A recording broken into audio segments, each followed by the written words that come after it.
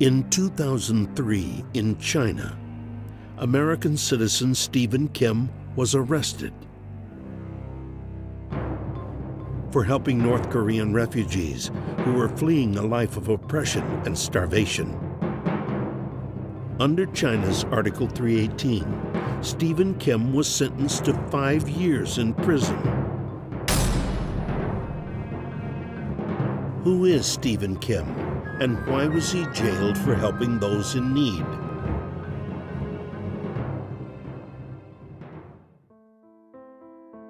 Seonwon Kim was born in South Korea in 1949.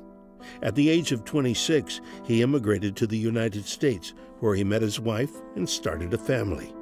In the late 1980s, amid the expansion of Chinese American trade relations, Steven opened a furniture factory in the Guangdong province in China. For many years, he traveled to China for business, sometimes spending months at a time there. In the late 90s, Steven became aware of North Korean refugees in China.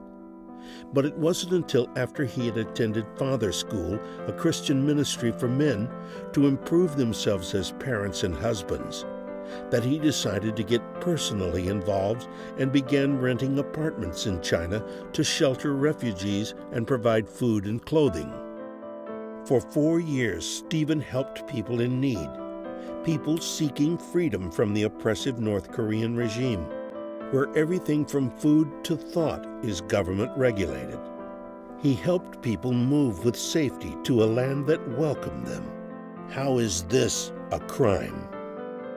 Despite being a party to the Refugee Convention and Protocol, China has chosen to view the people fleeing North Korea as economic migrants rather than political refugees and forcibly repatriates them to a hostile government. Repatriated North Koreans are subjected to brutal treatment, including detention, torture, placement in concentration camps, forced labor, and even execution. North Korean authorities are particularly brutal toward those suspected of making contact with South Koreans, missionary groups, or other foreigners.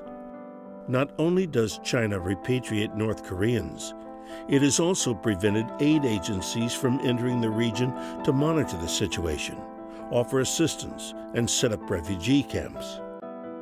In addition, in an effort to sanitize its international image before August 2008, when all eyes will be on Beijing for the Summer Olympics, China has also begun tracking down humanitarian workers and jailing them.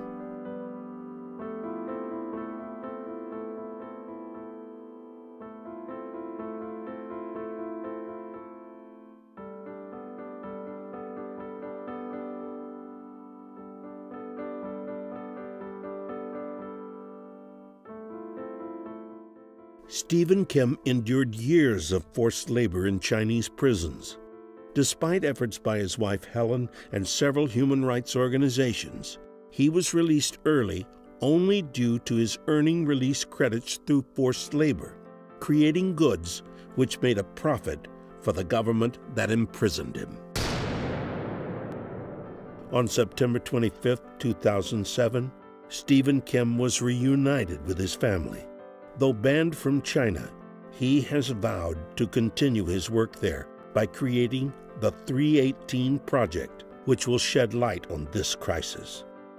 The 318 Project is a global initiative founded by Steven Kim to solve the plight of the North Korean refugees. 318 Project is raising awareness with a new book and documentary and the 318 Partners mission is actively providing relief for those in danger. And I didn't know before that all these people, they chanted my name, and now I'm here. So we will chant your name also, and you will be released. 318 is working for their safety. The danger is real. The time is now.